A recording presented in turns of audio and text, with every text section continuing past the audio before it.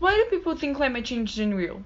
Just in 2021, we had snow in Brazil, more melting glaciers, the heat wave that hit Canada, and fires through almost all the seven continents. At least 2.3 million animals died in the Amazon forest fire in 2021.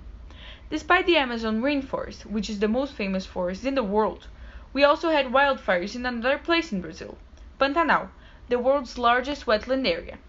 Greece, Turkey, and California were also victims of fires.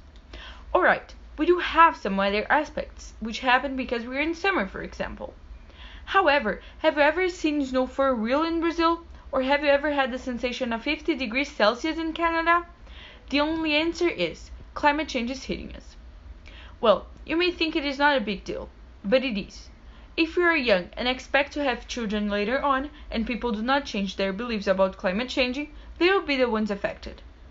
I know it is not fair to solve a problem caused by the past generation, but now the only thing we're able to do is solve the problem. Otherwise, we can all have serious problems in the near future. Climate change won't care if you're rich or poor, if you live in a big house or not. It will affect us all.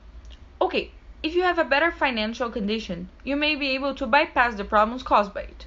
One solution, for example, is putting air conditioners in your whole house. Notwithstanding, until nowadays, no one has invented an AC which, which you can carry all around with you. The avoidance of waste might help, wasting less water and materials such as paper, or even using it but after sending it to a recycling center can also help. Nonetheless, it seems like I'm not helping enough. I feel useless. How can a teenager help the whole world?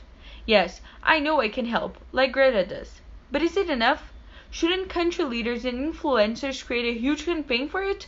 Laws should be created, such as the ones that prohibits the use of plastic bags and straws. Another possibility would be influencing people to power their houses with renewable energy, by having solar panels for example. Despite having a high cost in the beginning, when doing a simple calculation of how long it lasts and how long it takes to make any changes, you will be able to reduce a lot of the money you're wasting with energy, for example. And in the meantime, helping the planet. I'm not talking just to have it in your house, because one person alone does not pollute as much. Yet, industries all around the world do. They could start with this change, regardless of using energy that comes from burning fossil fuels. They could use and even produce energy from renewable sources, such as biomass, geothermal, wind, and solar. Finally, we can conclude that, if such changes does not occur, the Earth will suffer the impacts, which can contribute to the destruction of our planet little by little. And if we don't take responsibility now, climate change will be irreversible in six years according to the Climate Clock 2021.